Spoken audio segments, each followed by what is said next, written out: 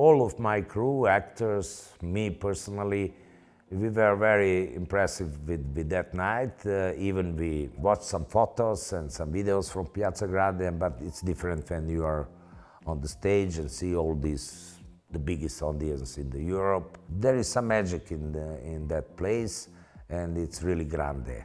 That's a good, good title for, for, for that place. Everything was done very fast. We, when we sent the copy for a Locarno Film Festival. They invited us. We didn't finish the movie, so we were in very, very big mess and hurry. Now we receive awards, and that was a really, really great reaction of the audience. So uh, everything's happened very fast, very strong, strong emotions. So uh, I'm not really uh, now capable to say what's happened. But generally, now I, I can believe, and I, I really believe that we uh, catch something in our movie. Maybe that universal language of emotions.